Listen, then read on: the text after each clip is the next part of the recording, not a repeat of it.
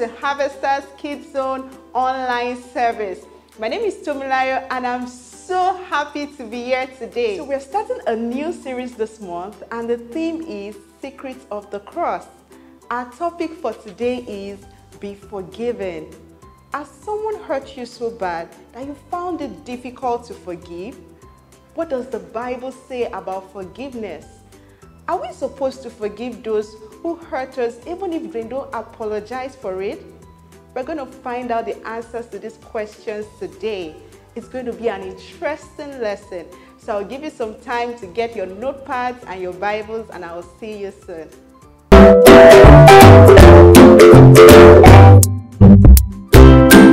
Welcome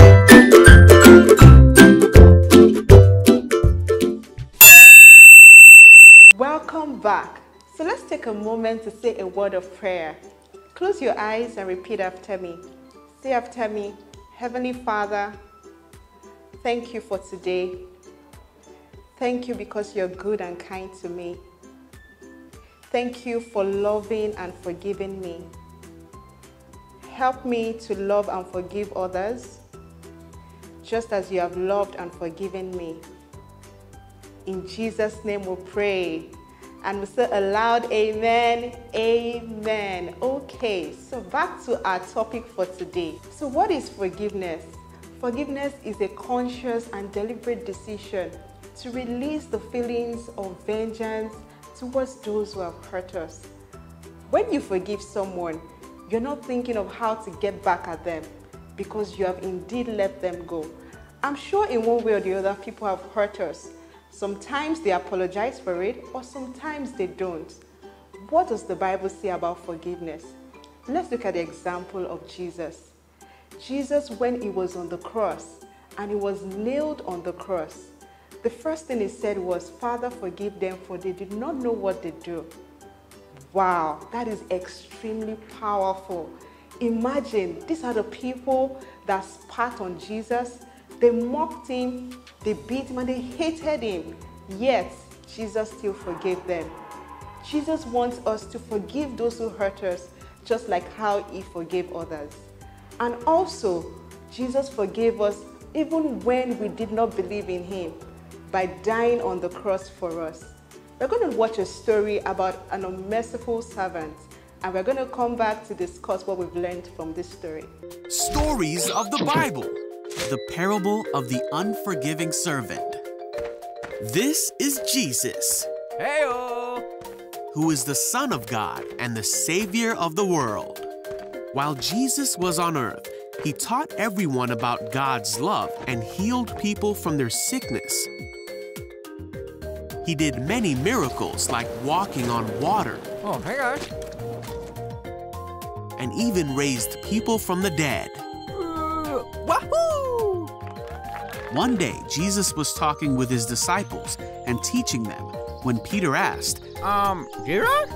How often should I forgive someone who sins against me? Seven times? Jesus said, No, not seven times, but 70 times seven. Then Jesus told a parable. He said, The kingdom of heaven can be compared to a king who decided to get his money back that he had let his servants borrow. While the king was doing this, one of the servants who owed him a million dollars was brought in. One million dollars, please. The servant couldn't pay, so the king ordered that he be sold, along with his family and everything he owned, to pay the debt. Wait, please. But the servant begged the king, Please be patient with me, and I will pay it all. Then his king was filled with pity for him, and he let him go and forgave his debt.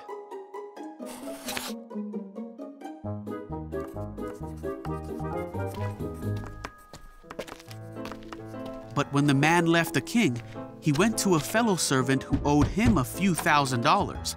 Uh, hi? Come here, you. He grabbed him and demanded that he pay him back immediately. Oh, wait, please. His fellow servant begged for a little more time. He said, Be patient with me, and I will pay it. No. But the servant wouldn't wait. He had the man arrested and put in prison until the debt could be paid in full. When some of the other servants saw this, they were very upset. They went to the king and told him everything that had happened. Then the king called in the man he had forgiven and said, You evil servant, I forgave you that tremendous debt because you pleaded with me. Shouldn't you have mercy on your fellow servant, just as I had mercy on you? Then the angry king sent the man to prison to be punished until he had paid all that he owed. Jesus then said, That's what my heavenly Father will do to you if you refuse to forgive your brothers and sisters from your heart. Wow, so many lessons to learn. The unmerciful servant obtained forgiveness, but he didn't forgive others. Jesus showed us his love and his grace by forgiving us even when we're still in our sins. And he expects us to extend that forgiveness towards others. Also, the Bible says that we should forgive others so God himself can forgive us. I know sometimes it can be very difficult to forgive other people, especially when they are not sorry. Do you know you can ask God for help and trust that He is going to give you the grace to forgive other people? Also, remember that you can do all things through Christ that strengthens you.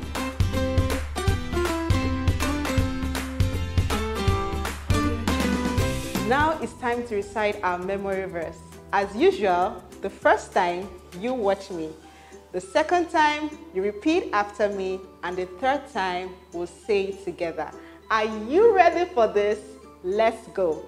Our memory verse is 1 Corinthians 1, verse 18, and it says, For the message of the cross is foolishness to those who perish, but to us who are saved, it is the power of God.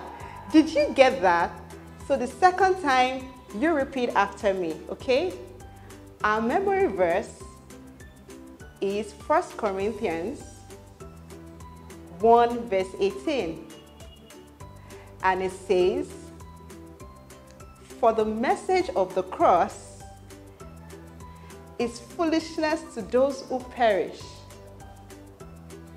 but to us who are saved, it is the power of God. Wonderful, great job, friends. So now we're going to do it together. Are you ready at the count of three? One, two, three. Our memory verse is 1 Corinthians 1, verse 18. And it says, For the message of the cross is foolishness to those who perish, but to us who are saved, It is the power of God. Great job, friends. Well done. So keep reciting the verse during the week, okay? And remember to forgive others as Jesus also forgave us. If you're joining us for the first time, you are most welcome. I hope you had a wonderful time with us today. Please ask dad or mom to text new to the number showing on the screen. Have a wonderful time and see you next week. Bye.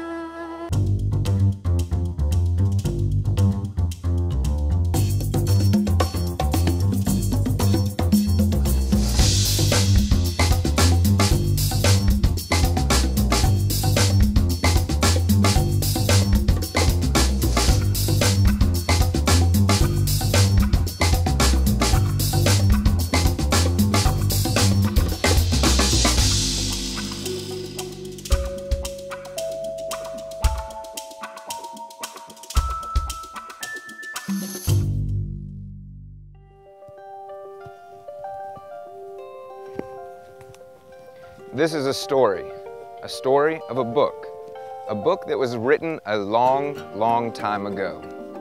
This book is a story of adventure, action, love, joy, pain, and hope. In this book, there's a story of a cross. This cross is a mystery to some, hope to others, and known by all. This cross has secrets that are found in statements. Join me as we discover the secrets of the cross. There's a neighborhood where a group of kids known as the Tracers regularly solve the locals' biggest mysteries. Mrs. Sally's trash can has been stolen. That's right, I said stolen. Well, today, things were about to change for the Tracers.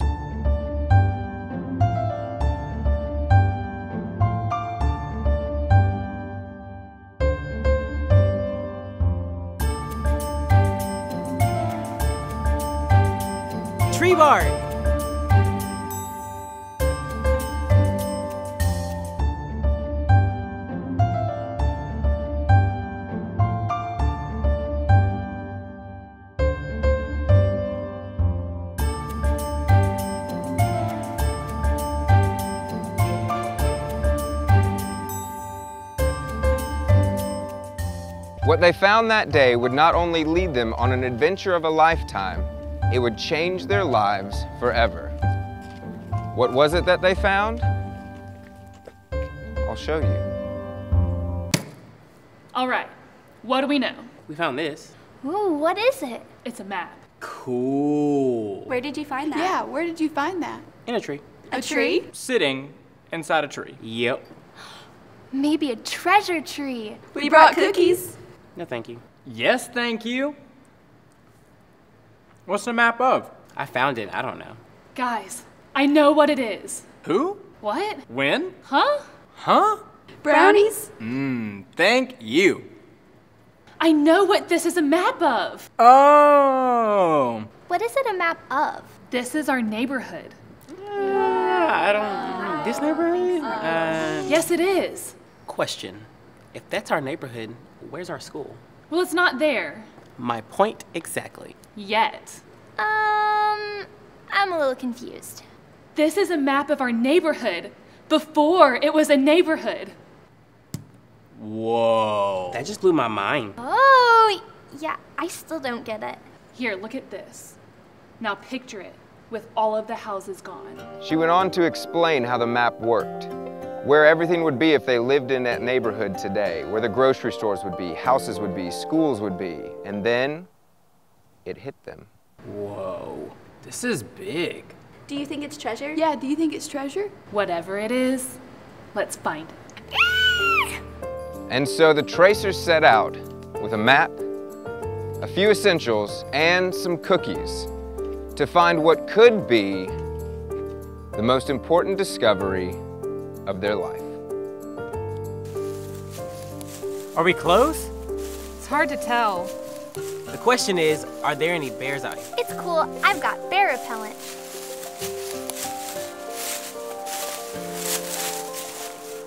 Look!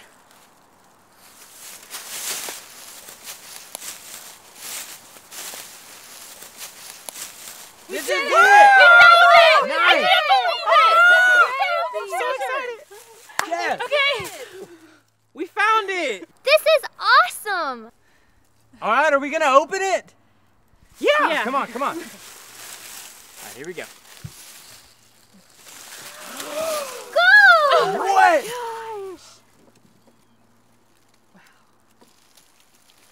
Gold! Whoa! What does it say? Is it in another language? Should we get some cupcakes? Or scones? Be forgiving. I will, but but what does it say? No, that's what it says. Be forgiving. Oh. Oh. I wonder why that's written on there. Hey, isn't that what Jesus said on the cross? What the tracers found was a secret of the cross. The statement, be forgiving, comes from the Bible story of when Jesus was hanging on the cross paying the price for our sins. He loves us all so much that he didn't want us to pay the price for our own sins.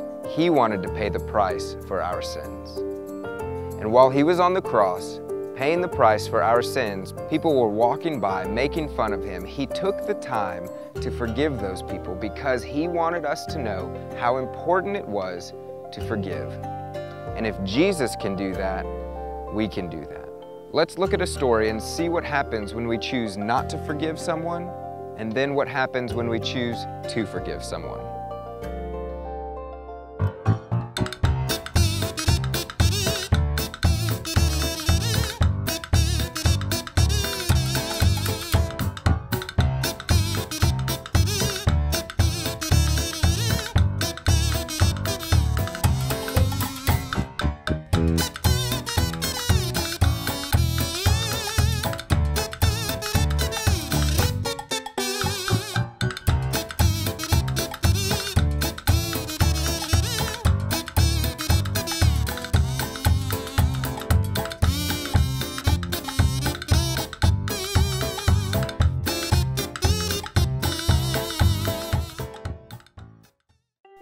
Now, sometimes it's hard to forgive someone. Maybe someone has done something really bad to you or something really wrong to you. You see, Jesus was completely innocent when he chose to forgive those people who were doing wrong things to him. Just because you forgive them doesn't make what they did right. It doesn't make it okay, but it makes your heart okay. And that's the most important thing. The Bible says, above all else, to guard your heart, for it is the wellspring of life. You can guard it by forgiving people who have done wrong things to you. And that's why the first secret of the cross is be forgiving. Join us next time as we discover more secrets of the cross. Let's take this gold back to headquarters.